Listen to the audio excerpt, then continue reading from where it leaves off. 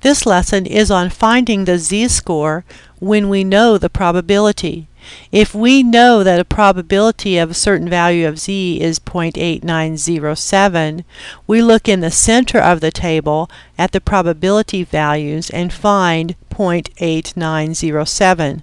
We find the z-score that corresponds with this value is 1.23.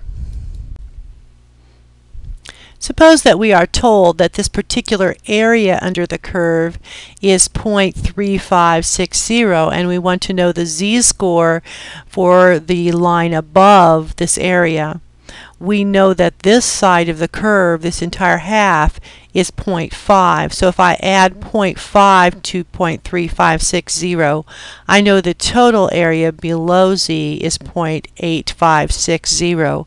I can look this probability up on the table and find that our z-score for this is, point, is 1.06.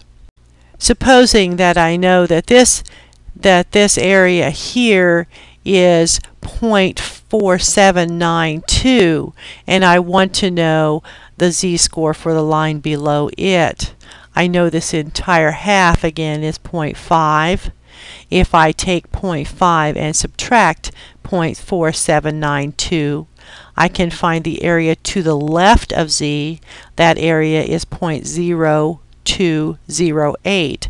I can then look this probability up on the table and find that my z-score is negative 2.04.